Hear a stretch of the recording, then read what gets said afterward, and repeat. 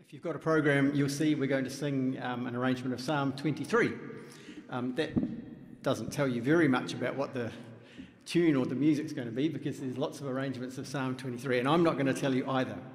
I'll give you a clue though. Um, I think it'll be familiar to most of you, and I think you probably won't have ever heard it all the way through.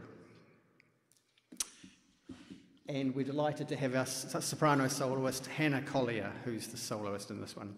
And bandsman, you may have a rest and listen.